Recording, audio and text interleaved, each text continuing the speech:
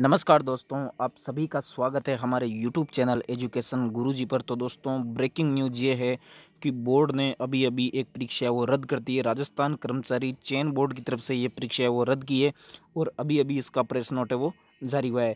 जो अभ्यर्थी थे वो लगातार इस भर्ती को रद्द करने की मांगे वो कर रहे थे और फ़िलहाल इसकी जाँच है, वो एसओजी को सौंप दी गई है सरकार के द्वारा और इस भर्ती परीक्षा को निम्नलिखित संभागों में जो रद्द है वो कर दिया गया है। तो चलिए आपको प्रेस नोट है वो दिखाते हैं।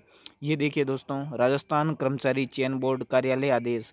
बोर्ड द्वारा दिनांक छः बारह दो हज़ार बीस को प्रातः दस बजे से बारह बजे तक राजस्थान के संभाग मुख्यालयों पर आयोजित कनिष्ठ अभियंता, सिविल डिग्री धारक संयुक्त भर्ती परीक्षा 2020 का प्रश्न पत्र लीक होने के कारण इस परीक्षा को रद्द किया जाता है। इस परीक्षा के आयोजन का नवीन कार्यक्रम पृथक से जारी किया जाएगा। तो दोस्तों, बड़ी जीत बेरोजगारों की वो हुई है। धन्यवाद।